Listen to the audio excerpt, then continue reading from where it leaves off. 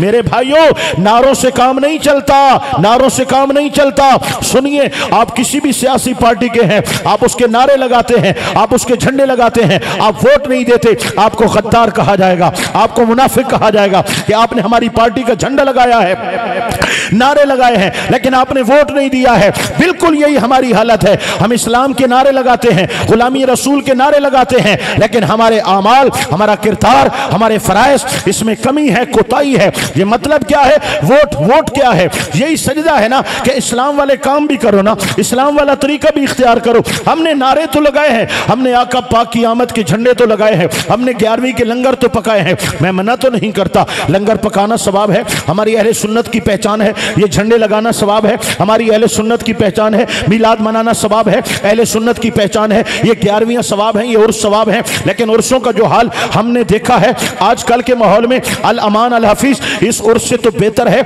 उस मज़ार को ताले लगा दिए जाए, जहाँ पर जानवरों की लड़ाइयाँ हो रही हो, जहाँ पर कुक्कड़ लड़ाए जा रहे हो, मुर्ग की लड़ाई की जा रही हो, और जहाँ पर जनाबे वाला रीछ और कुत्ते की लड़ाई लगी हुई हो, जहाँ पर रेसें लगी हुई हो, जहाँ पे सर्कस हो, जहाँ पे नटवे नाच रहे हो, जहाँ पे रंडियाँ नाच रही हो, और जहाँ पर गाने बाजों की आवाज़ आ रही हो, अगर शरीयत का पर्दा ना होता, जिन मज़ारात पर ये मेले लगते हैं, खुदा की कसम अल्लाह के वली बाहर आते, और लित्रों से इनकी परेड करते, और जो वहाँ सजादा नशीन बने बैठे हैं, जो अपने बाप दादा की कब्रों को बेच के ठेके पे देते हैं, सर्कस वालों से ठेका लेते हैं, कंजरियों से ठेका लेते हैं, नटवों से ठेका लेते हैं। खुदा की कसम इनकी चित्रौल करते, ये साहेब मज़ार, इन अल्लाह वालों ने दीन फैलाया है, इन अल्लाह के वलियों ने दीन फैलाया है। जितना दीन फैलाने में अल्लाह वालों का किरदार है, आज उनकी नस्लें उतना दीन का नुकसान कर रही हैं। और हमारे अंदर इतना शौर नहीं है कि दाढ़ी मुंडा कैसे पीर हो सकता है, हम उसके हाथ चूमते हैं, बेनमाज कैसे पीर हो सकता है, उसके हाथ चूमे जा रहे हैं। जिस मज़ार पर रंडियाँ नाच रही है, उस मज़ार के गले में पैसे डाले जा रहे हैं, उस उर्स को हम उर्स समझ के जा रहे हैं। ये उर्स है,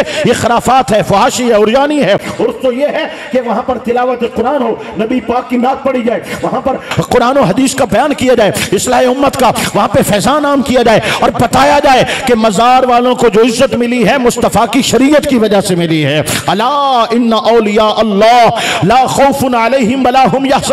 जो ताज इनको अता किया गया है, इन्होंने कुरान की पैरवी की है। इन्होंने हुजूर आका पाक अलैहिस्सलाम के इरशादात की पैरवी की है। लेकिन मेरे भाइयों, कौन समझे, किसको समझाए? आज अगर ये बातें कोई करता है, लोग कहते हैं, जनाब, ये वहाबी हो गया है, ये देवबंदी हो गया है। मेरे भाइयों, वहाबी, देवबंदी तो अल्लाह वालों को मानते ही नहीं है। मजार पे जाना जायज़ भी नहीं समझते। हम जो पैगाम दे रहे हैं, वो ये दे रहे हैं कि उनको मौका मत दो कि तुम सजदे करोगे, तनकीद वो अहले सुन्नत को बनाएँगे। तुम वहाँ पे रंडियाँ नचवाओगे, तनकीद अहले सुन्नत पे की जाएगी। तुम मजारात पे भंगड़े डालोगे, या सजदे करोगे, या तवाफ करोगे, तनकीद अहले सुन्नत, तुम्हारी वजह से अहले सुन्नत का नुकसान हो रहा है, अहले सुन्नत का नुकसान हो रहा है। मेरे भाइयों, ये उर्स नहीं है, जिस तरह आज हम हाँ जिन मजारात पर, आज भी वहाँ पे उलमा का वाज होता है, आका पाक की नात पड़ी जाती है, और शरी अदब आदाब मलहूद खाते रखे जाते हैं। हम बड़े शौक से आते हैं, मियाँ वाली से स्पेशली आते हैं। हज़रत सुल्तान सुल्तान बाहू रहमत के कदमों में स्पेशल हाजिरी देने के लिए हम वहाँ से आते हैं। एक तो है ना, आना जाना रहता है।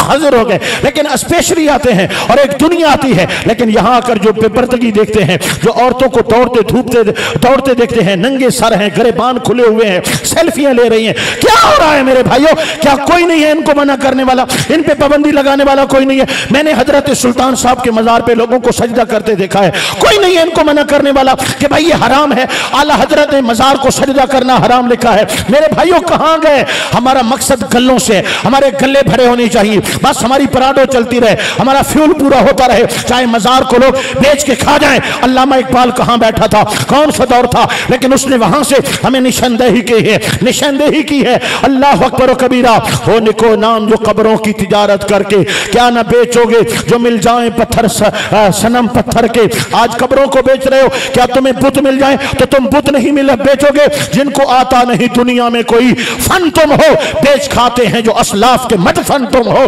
जो बुज़ुर्गों की कपड़े बेचते हैं, वो कौन हो तुम।